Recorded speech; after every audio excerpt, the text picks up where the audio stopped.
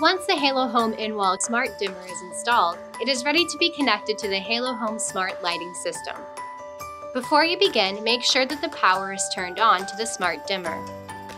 The dimmer's LED will start flashing when power is applied and the connected light source will turn on to indicate that it is ready to be paired.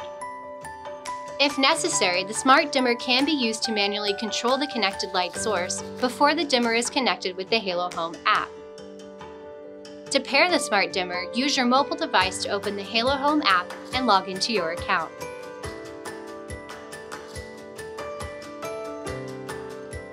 Tap the menu button and select Devices.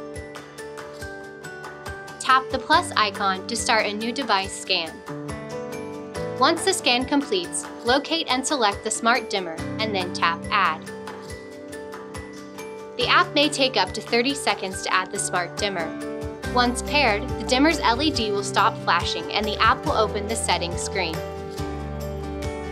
Tap the pencil icon to give the smart dimmer a descriptive name, or take a picture of the device to make it easier to locate in the app.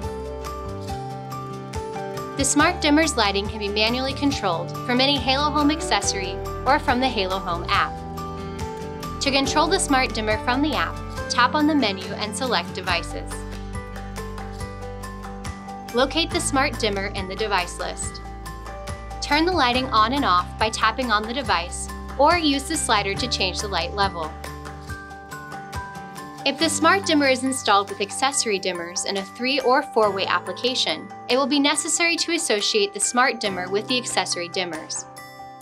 Refer to the accessory dimmer setup video for further instructions.